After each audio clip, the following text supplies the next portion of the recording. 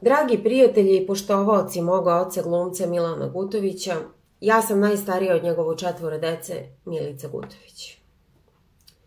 Želim da sa vama podelim istinu vezanu za njegove poslednje dane koje je proveo na intenzivnoj nezi na Vojno-medicinskoj akademiji u Beogradu u jeku epidemije covid avgusta 2021. godine, kada su posete bolnicama bile zvanično i strogo zabranjene. Evo šta se desilo te srede 18. avgusta, istog dana kada je moj tata prebačen na respirator.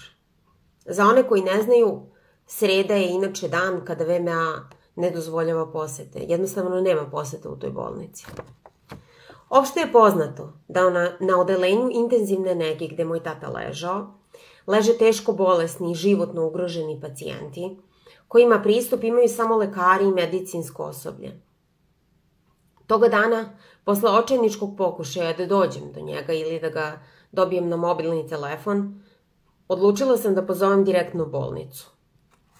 Sestra na intenzivnoj nezi Mara Tešić, navodno zadužena da pazi na moga oca, rekla mi je da bolnica ne dozvoljava posete zbog covid i da je tata u tako teškom stanju da je za mene bolje da ga ne vidim, citiram je.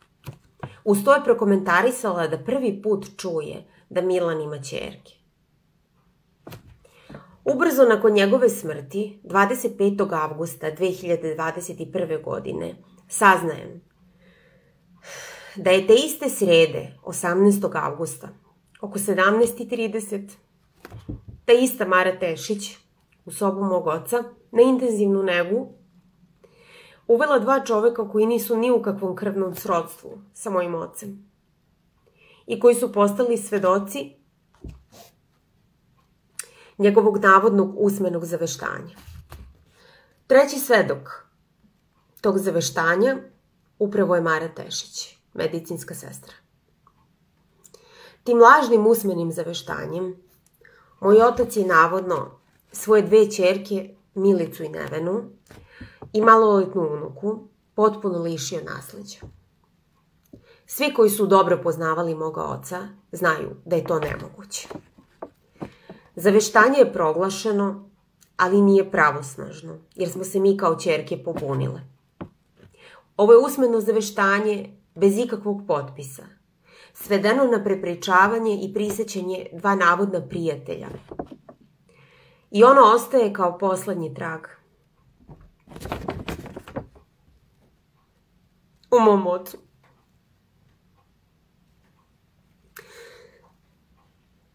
Drugih svedoka nema, jer je tata bio sam u sobi. Želim da istaknem da je 16. avgusta sa tatinog telefona poslata ova potresna fotografija na kojoj se jasno vidi da je on pod kiselničkom maskom kacigom, jer bez nje nije mogao samostalno da diše. Prilažem tu fotografiju.